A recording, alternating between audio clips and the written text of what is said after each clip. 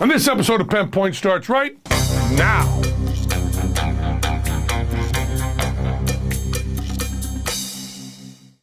This episode of Penn Point is brought to you by Busted Tees. Uh, I'm going to talk even more about Paul McCartney.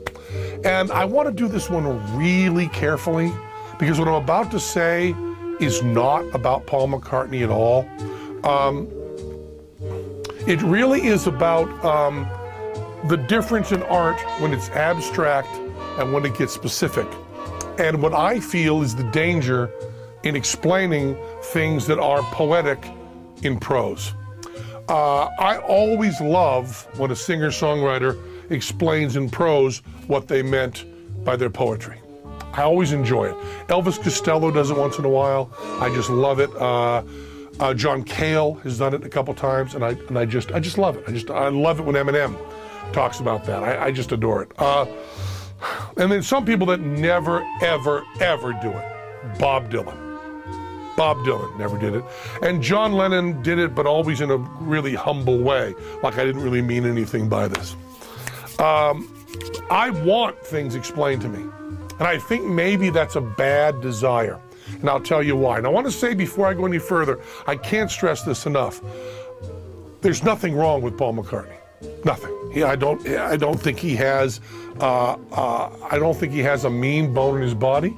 I think that peace and love thing that Paul McCartney does is not hype, is not jive. It's completely true. It's honest. It's real. I believe he's a really, really good person. What I'm going to talk about here, and I'm not saying this in order to do like a turnaround on it. What I'm talking about here is the specificity of art turning poetry into prose and the danger of that. I am not pretending to know anything that Paul McCartney believes. As a matter of fact, if I had to guess what Paul McCartney believes, every piece of evidence we have is that Paul McCartney is a good person right across the board. Uh, his politics, all that stuff, good moral person.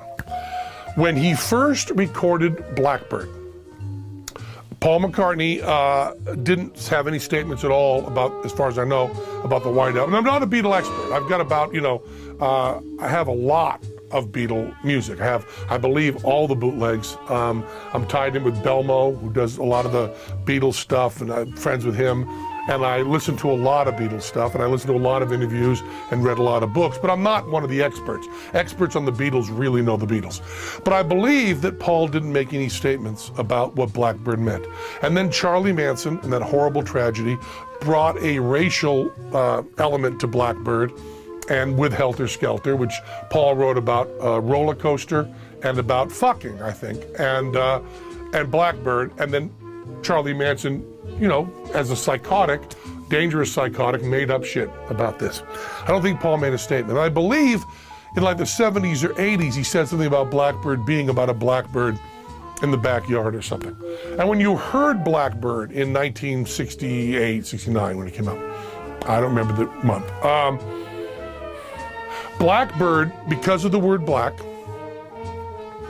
and because of the uh, kind of sound, did bring to mind certain things about uh, about civil rights, but tangentially. And it also did bring to mind a blackbird, literally. And it also did bring to mind perhaps uh, uh, the Raven, Edgar Allan Poe, Death, Sunken Eyes, Learn to See, and so on.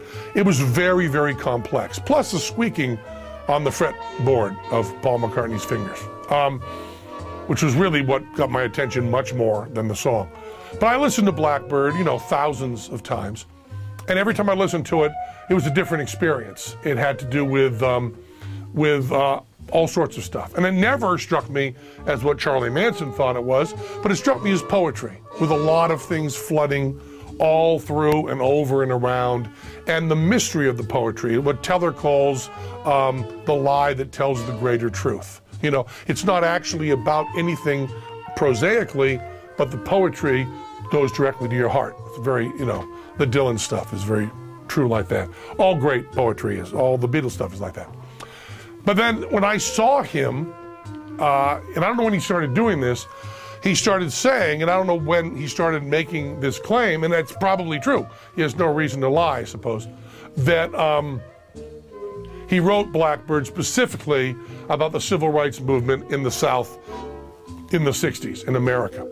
And his introduction gets the feeling that um, uh, the United Kingdom's never had any problem with racism. But that doesn't matter. He wasn't saying that.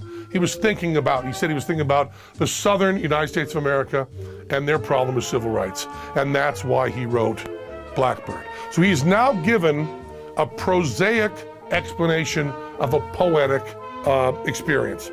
And he's also given you a code now. He has now told you that Blackbird means African American in general.